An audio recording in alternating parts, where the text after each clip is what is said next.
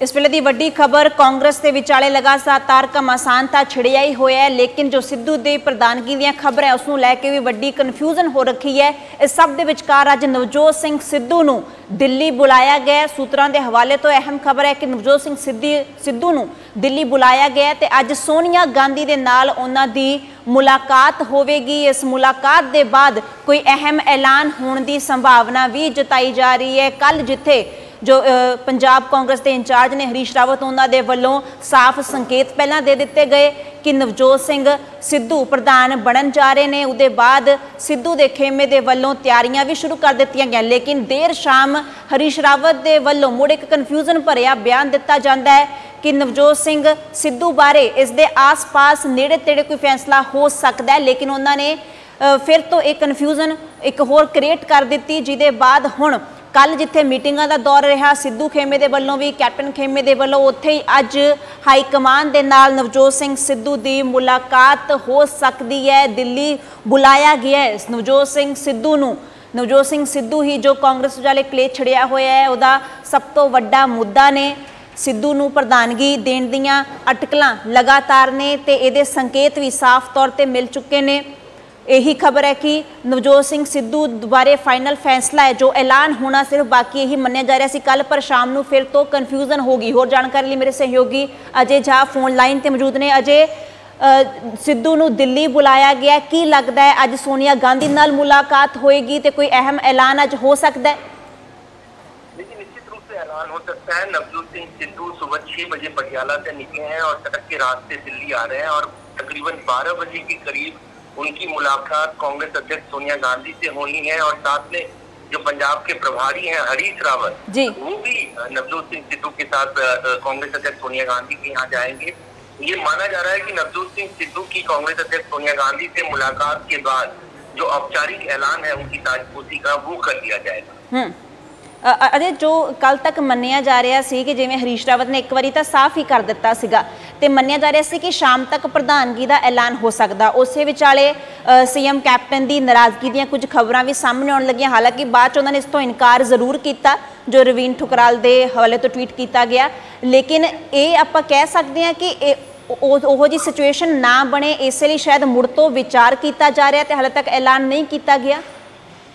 निश्चित रूप से रोक के जो ऐलान कल शाम को ही हो जाना था उसको रोक के रखा गया है। जिस तरह हम्म। की नाराज़गी दिखी और देर शाम जिस तरह से कैप्टन समर्थक विधायक अलग बैठक कर रहे थे नवजोत सिंह सिद्धू अपने समर्थकों के साथ अलग मीटिंग कर रहे थे। कहीं ना कहीं लग रहा था कि नाराज़गी है वहाँ पे। हम्म। और शायद यही वजह है कि कल इस, इसका ऐलान नहीं किया गया। लेकिन आज कांग्रेस अध्यक्ष सोनिया गांधी से मुलाकात के बाद उम्मीद है कि इसका ऐलान कर दिया जाए। जो हरीश रावत का देर रात बयान आया ਕਿ ਇਸ ਦੇ ਅ, ਨਜ਼ਦੀਕ ਕੋਈ ਫੈਸਲਾ ਹੋ ਸਕਦਾ ਹੈ ਤਾਂ ਉਹਦਾ ਕੀ ਅਨੁਮਾਨ ਲਗਾਇਆ ਜਾ ਰਿਹਾ ਕਿ ਕਿਹੋ ਜਿਹਾ ਡਿਸੀਜਨ ਜੇਕਰ ਪ੍ਰਧਾਨਗੀ ਨਹੀਂ ਤਾਂ ਉਹਦੇ ਆਸ-ਪਾਸ ਦਾ ਕਿਹੋ ਜਿਹਾ ਡਿਸੀਜਨ ਹੋ ਸਕਦਾ देखिए हरीश रावत ने कल वही संकेत दे दिया था कि अ, जो भी फैसला होगा वो नवजोत सिंह सिद्धू के इर्द गिर्द ही होगा तो कहीं ना कहीं साफ तौर से संकेत था कि नवजोत सिंह सिद्धू क- को पंजाब का- के प्रदेश का प्रधान बनाया जा रहा है और ये भी हरीश रावत की अ, ऑफ़िस से ही इस बात का संकेत मिला था कि देर शाम तक ऐलान कर दिया जाएगा।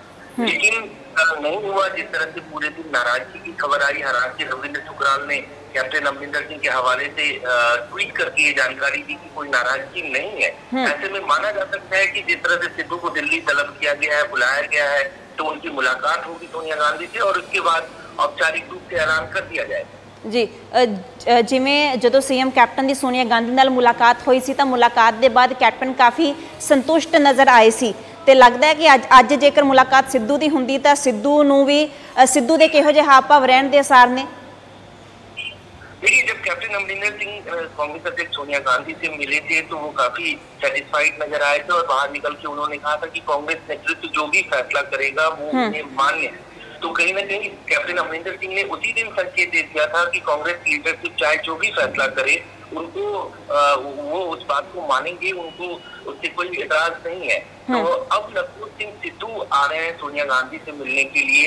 उसके बाद अगर औपचारिक ऐलान होता है तो ये माना जाए कि नाराज़गी हो सकती है लेकिन किसी भी तरह की उस लेवल पे गुटबाजी या कोई टूट नहीं हो सकता है क्योंकि कैप्टन ने पहले ही संकेत दे दिया। है ਜੀ ਇਸ ਵੱਡੀ ਖਬਰ ਤੁਸੀਂ ਨਿਗਾਹ ਬਣਾ ਕੇ ਰੱਖੋ ਤਾਂ ਜਿਵੇਂ ਅਜੇ ਨੇ ਦੱਸਿਆ ਕਿ ਨਵਜੋਤ ਸਿੰਘ ਸਿੱਧੂ ਪਟਿਆਲਾ ਤੋਂ ਨਿਕਲ ਚੁੱਕੇ ਨੇ ਦਿੱਲੀ ਦੇ ਵਾਸਤੇ ਤੇ 12 ਵਜੇ ਦੇ ਕਰੀਬ ਸੋਨੀਆ ਗਾਂਧੀ ਦੇ ਨਾਲ ਉਹਨਾਂ ਦੀ ਮੁਲਾਕਾਤ ਹੋਣੀ ਹੈ ਤੇ ਉਸ ਦੇ ਬਾਅਦ ਕੋਈ ਵੱਡਾ ਐਲਾਨ ਹੋ ਸਕਦਾ ਹੈ ਨਵਜੋਤ ਸਿੰਘ ਸਿੱਧੂ ਬਾਰੇ। ਕਈ ਦਿਨਾਂ ਤੋਂ ਇਹ ਖਬਰਾਂ ਆ ਰਹੀਆਂ ਨੇ। 6 ਜੁਲਾਈ ਨੂੰ ਅਸੀਂ ਵੀ ਦੱਸਤਾ ਸੀ ਕਿ ਫਾਈਨਲ ਉਹਨਾਂ ਤੇ ਫੈਸਲਾ ਹੋ ਚੁੱਕਿਆ ਹੈ ਕਿ ਉਹਨਾਂ ਨੂੰ ਪੰਜਾਬ ਕਾਂਗਰਸ ਦਾ ਪ੍ਰਧਾਨ ਬਣਾਇਆ ਜਾ ਰਿਹਾ ਤੇ ਨਾਲ ਜੋ ਕੱਲ ਵੀ ਪੂਰਾ ਦਿਨ ਖਬਰਾਂ ਆਉਂਦੀਆਂ ਰਹੀਆਂ ਕਿ ਦੋ ਹੋਰ ਕਾਰਜਕਾਰੀ ਪ੍ਰਧਾਨ, ਇੱਕ ਹਿੰਦੂ ਚਿਹਰਾ ਤੇ ਇੱਕ ਦਲਿਤ ਚਿਹਰਾ ਲਗਾਇਆ ਜਾ ਰਿਹਾ ਹੈ। ਲੇਕਿਨ ਸ਼ਾਮ ਨੂੰ ਇਹ ਤਸਵੀਰ ਇੱਕ ਹੋਰ ਕਨਫਿਊਜ਼ਿੰਗ ਹੁੰਦੀ ਨਜ਼ਰ ਆਈ ਕਿਉਂਕਿ ਪਹਿਲਾਂ ਤੱਕ ਤਾਂ ਸਾਫ਼ ਸਪਸ਼ਟ ਖਬਰਾਂ ਚੱਲ ਰਹੀਆਂ ਸਨ ਤੇ ਸਿੱਧੂ ਖੇਮੇ ਦੇ ਵੱਲੋਂ ਤਿਆਰੀਆਂ ਵੀ ਸ਼ੁਰੂ ਕਰ ਦਿੱਤੀਆਂ ਗਈਆਂ ਸੀ ਜਸ਼ਨ ਮਨਾਉਣ ਦੀਆਂ। ਲੇਕਿਨ ਜਦੋਂ ਸ਼ਾਮ ਨੂੰ ਐਲਾਨ ਨਹੀਂ ਹੋਇਆ ਤਾਂ ਉਸ ਦੌਰਾਨ ਮੀਟਿੰਗਾਂ ਦਾ ਦੌਰ ਸ਼ੁਰੂ ਹੋ ਗਿਆ। ਸੀਐਮ ਕੈਪਟਨ ਅਲੱਗ ਮੀਟਿੰਗ ਕਰ ਰਹੇ ਸਨ। ਨਵਜੋਤ ਸਿੰਘ ਸਿੱਧੂ, ਸੁਖਜਿੰਦਰ ਰੰਧਾਵਾ ਤੇ ਕੁਝ ਹੋਰ ਐਮਐਲਏ ਮੰਤਰੀ ਅਲੱਗ ਮੀਟਿੰਗ ਕਰ ਰਹੇ ਸੀ। ਉਸੇ ਵਿਚਕਾਰ ਜੋ ਰਵੀਨ ਠੁਕਰਾਲ ਨੇ ਸੀਐਮ ਕੈਪਟਨ ਦੇ ਮੀਡੀਆ ਸਲਾਹਕਾਰ ਉਹਨਾਂ ਦੇ ਵੱਲੋਂ ਟਵੀਟ ਕੀਤਾ ਜਾਂਦਾ ਹੈ ਕਿ ਸਾਡੇ ਲੋ ਕੋਈ ਨਾਰਾਜ਼ਗੀ ਨਹੀਂ ਹੈ ਤੇ ਜੇਕਰ ਕਿਤੇ ਖਬਰਾਂ ਅਜਿਹੀਆਂ ਨੇ ਕਿ ਸੀਐਮ ਕੈਪਟਨ ਨੇ ਅਸਤੀਫੇ ਦੀ ਪੇਸ਼ਕਸ਼ ਕੀਤੀ ਹੈ ਤਾਂ ਉਹ ਵੀ ਅਜਿਹੀ ਕੋਈ ਗੱਲ ਨਹੀਂ ਹੈ, ਸਿਰਫ ਅਫਵਾਹਾਂ ਨੇ ਇਹਨਾਂ ਤੇ ਯਕੀਨ ਨਾ ਕੀਤਾ ਜਾਵੇ। ਤਾਂ ਇਸ ਸਭ ਦੇ ਦਰਮਿਆਨ ਜੋ ਫੈਸਲੇ ਦਾ ਐਲਾਨ ਕੱਲ ਪੂਰੀ ਸੰਭਾਵਨਾ ਸੀ ਮੰਨਿਆ ਜਾ ਰਿਹਾ ਸੀ ਕਿ ਸ਼ਾਮ ਤੱਕ ਸਿੱਧੂ ਦੀ ਪ੍ਰਧਾਨਗੀ ਦਾ ਐਲਾਨ ਹੋ ਜਾਏਗਾ, ਉਹ ਸ਼ਾਮ ਨੂੰ ਨਹੀਂ ਹੋਇਆ ਤੇ ਹੋਰ ਜ਼ਿਆਦਾ ਕਨਫਿਊਜ਼ਨ ਪੈਦਾ ਹੋ ਗਈ ਤੇ ਹੁਣ ਅੱਜ ਸੋਨੀਆ ਗਾਂਧੀ ਦੇ ਨਾਲ ਜੋ ਮੁਲਾਕਾਤ ਹੋਣੀ ਹੈ ਉਸ ਦੇ ਉੱਪਰ ਨਿਗਾਹਾਂ ਟਿਕੀਆਂ ਹੋਈਆਂ ਨੇ, ਮੰਨਿਆ ਇਹ ਵੀ ਜਾ ਰਿਹਾ ਹੈ ਕਿ ਜੋ ਨਾਰਾਜ਼ਗੀ ਦੀਆਂ ਖਬਰਾਂ ਸਾਹਮਣੇ ਆਈਆਂ ਸਨ, ਹੋ ਸਕਦਾ ਹੈ ਉਸੇ ਦੇ ਚੱਲਦਿਆਂ ਮੁੜ ਤੋਂ ਫੈਸਲੇ ਤੇ ਵਿਚਾਰ ਜਾਂ ਫਿਰ ਕੋਈ ਹੋਰ ਆਪਸ਼ਨ ਸਿੱਧੂ ਦੇ ਸਾਹਮਣੇ ਰੱਖਿਆ ਜਾ ਸਕਦਾ ਹੈ।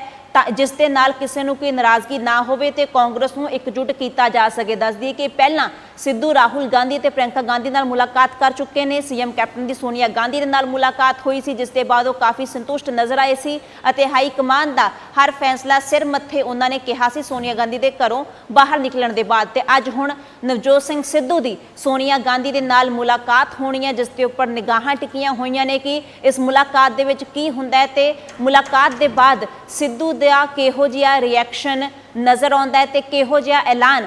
ਅੱਜ ਕਾਂਗਰਸ ਹਾਈ ਕਮਾਨ ਦੇ ਵੱਲੋਂ ਪੰਜਾਬ ਕਾਂਗਰਸ ਨੂੰ ਤੇ ਨਵਜੋਤ ਸਿੰਘ ਸਿੱਧੂ ਨੂੰ ਲੈ ਕੇ ਕੀਤਾ ਜਾ ਸਕਦਾ ਹੈ। ਇਸ ਵੱਡੀ ਖਬਰ ਦੀ ਹਰ ਅਪਡੇਟ ਤੁਹਾਡੇ ਤੱਕ ਪਹੁੰਚਾਉਂਦੇ ਰਹਾਂਗੇ। ਜੁੜੇ ਰਹੋ ਦੈਨਿਕ ਸਵੇਰਾ ਟੀਵੀ ਦੇ ਨਾਲ।